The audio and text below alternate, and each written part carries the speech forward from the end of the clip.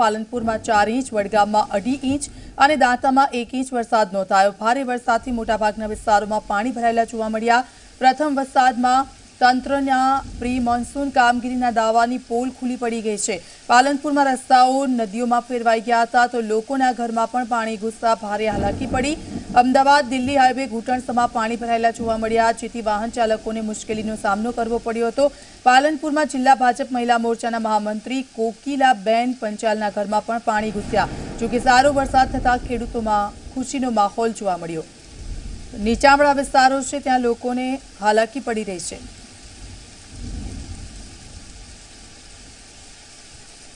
આખો બેચરપુરાનો જે નીચેનો ભાગ છે વૃંદાવન સોસાયટી દીપાલનગર મધુવન કૃષ્ણનગર, શક્તિનગર, આ તમામ સોસાયટીઓના અત્યાર સુધીમાં ચારથી પાંચ ફોન કરી રહ્યા ડિઝાસ્ટર મેનેજમેન્ટમાં, કલેક્ટર ઓફિસમાં, નગરપાલિકામાં અત્યાર સુધીમાં કોઈ પણ વ્યક્તિ જોવા માટે આવી નથી કે નથી એમને નાણાં ખોલ્યા અને નાણાં બધા ચોકઅપ થઈ ગયા છે. તો આ કરવાનું નાળો જે કર્યું છે, એનો હેતુ શું? હવામાન વિભાગની આગાહી મુજબ બનાસકાંઠામાં મોડી રાતથી વહેલી સવાર સુધી ધોધમાર વરસાદ વરસ્યો છે. પાલનપુર શહેરની વાત કરવામાં આવે તો પાલનપુર શહેરની અંદર ચાર ઇંચ જેટલો વરસાદ વરસ્યો છે, જેના કારણે નીચાણવાળા વિસ્તાર તેમજ જે હાઈવે પર છે તે પાણી ભરાયા છે. અત્યારે અમે પાલનપુરના જે અમદાવાદથી દિલ્હી જતા હાઈવે પર છીએ અને આપ જોઈ રહ્યા છો કે હાઈવે પર ઘૂંટણસામાં પાણી ભરાયા છે, જેના કારણે જે વાહન ચાલકો છે તે તેમને અહીંથી પસાર થવામાં ખૂબ જ તકલીફ પડી રહી છે. જે રીતે વરસાદ વરસ્યો છે તેને લઈને અનેક જે નીચાણવાળા વિસ્તારો હતા તે વિસ્તારના જે લોકો હતા તેમના ઘરમાં પાણી ભરાયા હતા. તેના કારણે તેઓ મુશ્કેલી અનુભવી રહ્યા છે. ક્યાંક ને ક્યાંક જે નગરપાલિકાની પ્રી મોન્સૂનની જે તૈયારીઓ હતી, તે તૈયારીઓ અને પ્લાન છે તે તેના દાવા છે તે પોકળ સાબિત થયા છે. આપ જોઈ રહ્યા છો કે હાઈવે પરથી જે વાહનો પસાર થઈ રહ્યા છે, નાના વાહનો છે તેમના ટાયરના ઉપર છે તે પાણી આવી રહ્યું છે. તો જે ટ્રક છે તે ટ્રકના પણ ટાયર છે તે પાણીમાં ડૂબાઈ રહ્યા છે.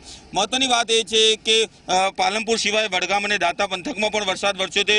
વડગામની અંદર ત્રણ ઇંચ જેટલો વરસાદ વરસ્યો છે તો દાંતા પંથકની અંદર બે ઇંચ જેટલો વરસાદ વરસ્યો છે. હવામાન વિભાગની આગાહી મુજબ આ વરસાદ છે તે વરસ્યો છે ને જેના કારણે નીચાણવાળા વિસ્તારમાં તો પાણી ભરાયા છે, પરંતુ જે હાઈવે છે તે હાઈવે પર પણ પાણી ભરાયા છે જેના કારણે જે વાહન ચાલકો છે તે તકલીફ ભોગવી રહ્યા છે. આપ જોઈ રહ્યા છો કે આ હાઈવે છે, પરંતુ હાઈવેના જે દ્રશ્યો છે તે ક્યાંક ને ક્યાંક બેટમાં ફેરવાયા છે ને હાઈવે પર ઘૂંટણસામાં પાણી છે જેના કારણે અહીંયાથી જે પસાર થતા મોટા ટ્રકો તેમજ જે નાના વાહનો છે તે વાહનો ખૂબ જ તકલીફ ભોગવી રહ્યા છે. દ્રશ્યમાં આપ જોઈ રહ્યા છો કે હાઈવે છે ને હાઈવે ઊંચાણવાળા વિસ્તારમાં આવ્યા હોવા છતાં પણ અહીંયા જે પાણી ભરાયા છે તેના કારણે ક્યાંક ને ક્યાંક જે વાહનોની ગતિ છે તે ગતિ પણ ધીમી થઈ છે ને જેના કારણે વાહન ચાલકો તો તકલીફ ભોગવી રહ્યા છે પરંતુ આ પાણી છે તેનો નિકાલનો કોઈ રસ્તો નથી જેના કારણે આ પાણી છે તે અહીંથી નીકળતું નથી અને વાહન ચાલકો છે તે અહીંથી આ પાણીમાંથી પસાર થવા મજબૂર બન્યા છે. હવામાન વિભાગે જે રીતે આગાહી કરી હતી તે મુજબ વરસાદ પડ્યો છે અને હજુ પણ બનાસકાંઠા જિલ્લાની અંદર વરસાદ વરસે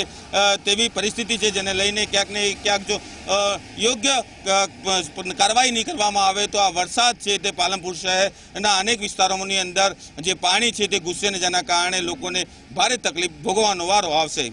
અલ્કેશ રાવ, જી મીડિયા, બનાસકાંઠા.